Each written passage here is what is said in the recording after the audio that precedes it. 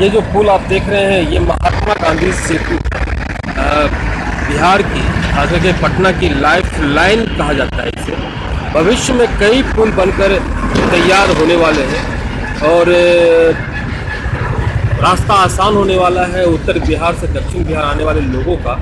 लेकिन अभी फ़िलहाल ये पुल राजधानी की लाइफ लाइन है और इस पर आने वाली गाड़ियाँ दौड़ती नहीं है, बल्कि सड़कती है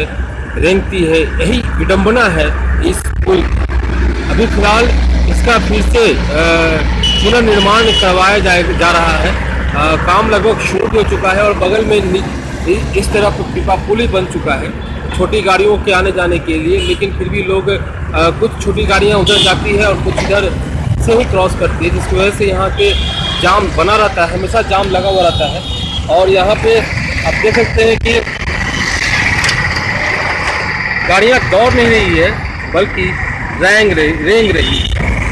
यही इस पुल की विडम्बना है